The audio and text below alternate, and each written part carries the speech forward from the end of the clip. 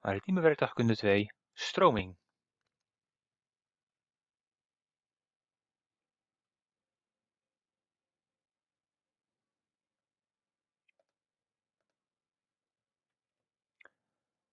Wanneer we het hebben over vloeistoffen, is druk natuurlijk een belangrijke grootheid. Druk die werkt altijd in alle richtingen en altijd loodrecht op het oppervlak waar het dan over gaat. We zien hier het punt en op het punt in de vloeistof werkt overal vanuit alle richtingen de druk dezelfde kant uit. En daardoor beweegt dat vloeistofdeeltje ook niet. Als we kijken naar de zijkant van bijvoorbeeld een tank of een schip, dan zullen we zien dat die druk altijd loodrecht op de wand staat. En hoe verder we onder de oppervlakte komen, hoe groter die druk zal worden. Bij bijvoorbeeld een kimstraal zal die druk van binnen naar buiten loodrecht op de kimstraal staan en van buiten naar binnen de waterdruk ook loodrecht daarop. Kortom, de vorm van het object maakt in principe weinig uit voor de druk die erop uitgeoefend wordt. Ja, en hoe groot is die dan die druk? Die druk die zouden we kunnen uitdrukken als een kracht gedeeld door oppervlakte. In dit geval een ijsbeer. Een gewicht van 5000 newton met een oppervlakte van 2500 vierkante millimeter. Ja, en hoe groot wordt dan die druk? Nou, dat zou je kunnen uitrekenen.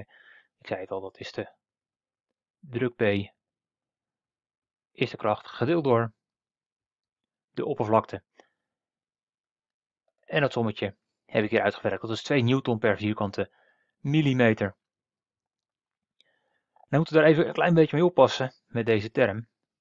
Want de eenheid van druk is newton per vierkante meter. Tussen die twee zit dus nog een factor 10 tot de macht 6. We zien eigenlijk daarom ook bij altijd, bij alle drukken waar we mee werken in Pascal, dat die, die vaak nog vermenigvuldigd wordt met een factor 10 tot de macht 5 of 10 tot de macht 6.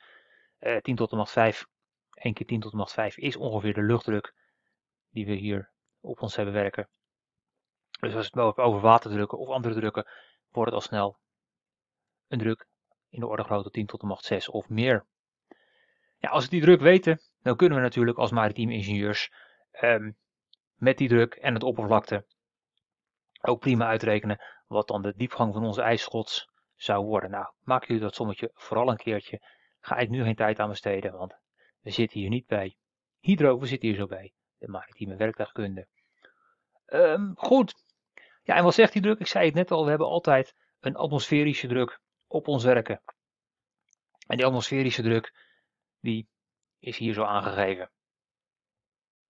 Normale variatie om maar nabij. En die P-atmosfeer, die werd vroeger altijd uitgedrukt in bars, in ongeveer 1 bar om en nabij. En dat is, die atmosferische druk is 1 keer 10 tot de macht 5 Pascal. Gemiddeld is het, uit mijn hoofd, hou me te goede, 1,013 keer 10 tot de macht 5 geloof ik. 1,13. Het is in elk geval heel dicht in de buurt van die 1 keer 10 tot de macht 5. Um, ja, en wat betekent dat? Dat betekent eigenlijk dat we verschillende manieren hebben om de druk uit te, uit te drukken. Dat is leuk, de druk uitdrukken. Als we bijvoorbeeld een bakje hebben met een vloeistof erin, dan kunnen we ons afvragen of enige afstand onder die vloeistofspiegel, wat is daar zo de druk? Nou, die druk die kunnen we uitdrukken als een functie. Die druk is een functie van die hoogte van de vloeistof en natuurlijk de dichtheid. We kennen allemaal de druk is gelijk aan rho maal g maal h.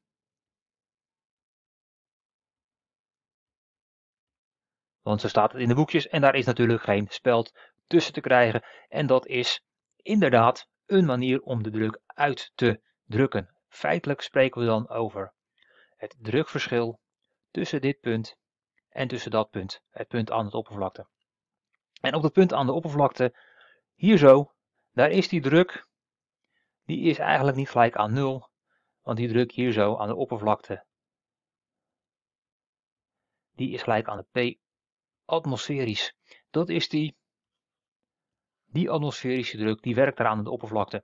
Dus de absolute druk in het punt P, wat ik daar geschetst heb, die absolute druk is gelijk aan de waterdruk plus de luchtdruk. We onderkennen daarmee de absolute druk en dat is de druk van de lucht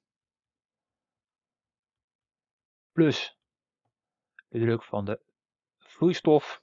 Kan natuurlijk ook een gas zijn, maar dat komt weinig voor. Laten we het even vloeistof houden. En we hebben de relatieve druk. En die is gelijk aan de druk van de vloeistof alleen. Goed.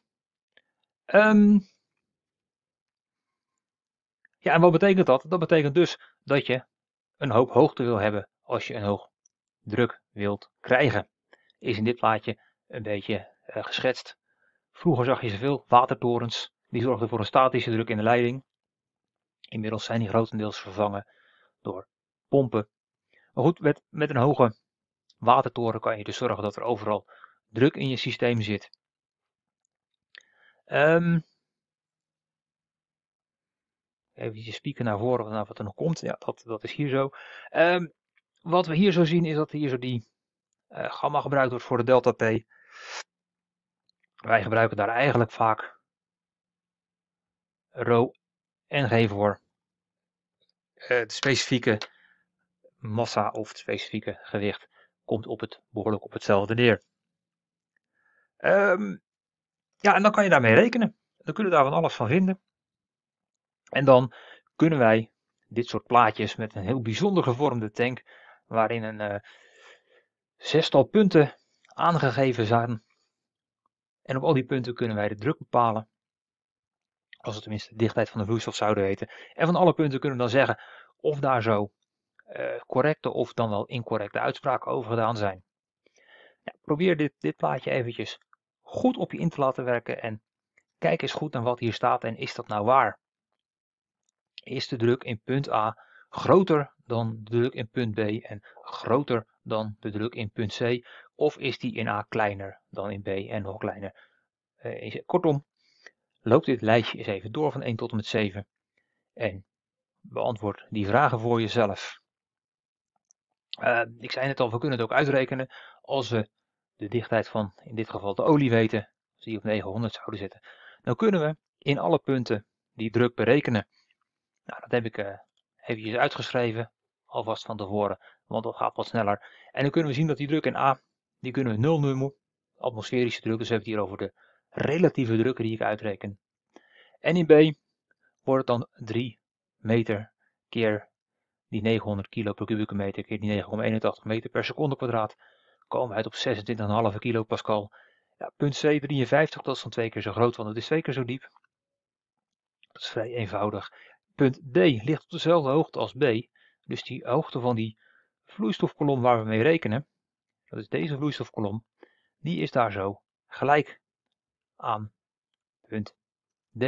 En voor punt E geldt eigenlijk hetzelfde. Daar zo is de afstand tot de atmosfeer gelijk aan de afstand in punt A, de verticale afstand, de hoogte.